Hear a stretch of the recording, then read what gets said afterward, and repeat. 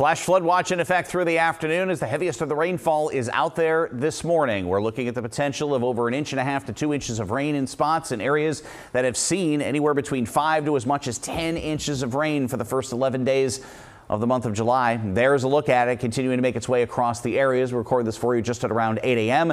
We are looking at it turning lighter around lunchtime and then a little bit more spotty later on this afternoon. Most of this is falling in the southern half of the state, while away from the rain cooled air, temperatures will be in the 70s later on this afternoon. So here's Futurecast, which by lunchtime does show it going down to much lighter, spottier rainfall. And then as we get toward the evening commute, much easier than the morning commute with the heavier downpours and the lower visibility visibility early this morning.